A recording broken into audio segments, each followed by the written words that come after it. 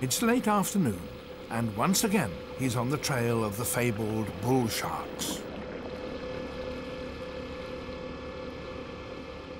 At last. But what will this quarter-ton tough guy make of our fiberglass weakling?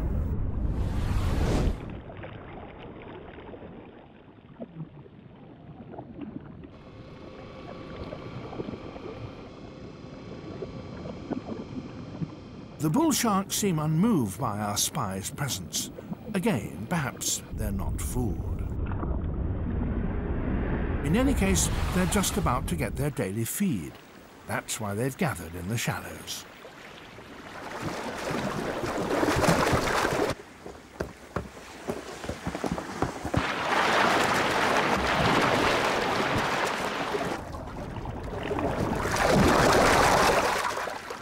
Gary has been feeding bull sharks for more than 10 years. He knows them individually, believes they have their own personalities, and that they recognize him too.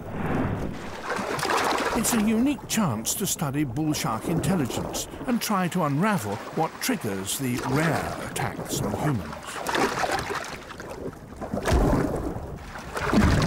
It looks like RoboShark is in for a rough ride.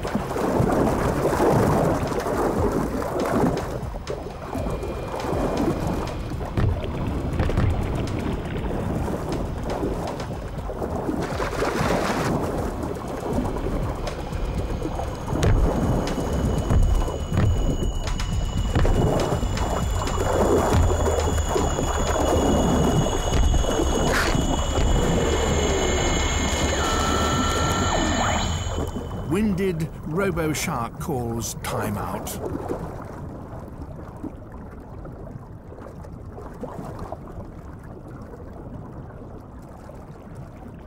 Meanwhile, shark scientist Eric Ritter enters the water to put his theories to the test.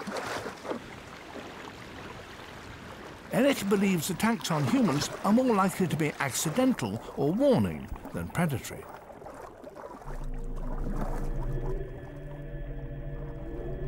The shark's behavior here seems to support his case. Even with food just centimeters from his feet, they don't attack.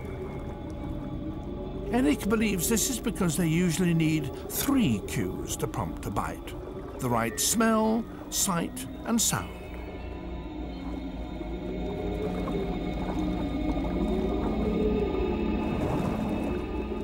Despite being surrounded by the smell of food, Eric doesn't look or sound like a good meal. In fact, he seems to be more in the way than anything.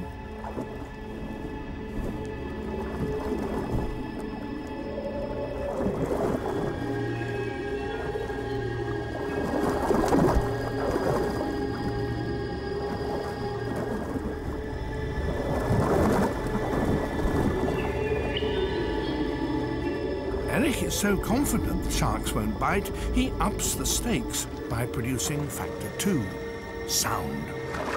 When swimming, we generate a low-frequency noise similar to a struggling fish that might whet the shark's appetite.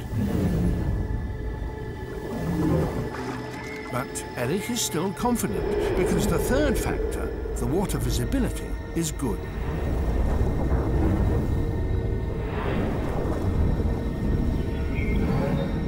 This was murky water, a flash of his white leg might look like a fish underbelly and cause an attack.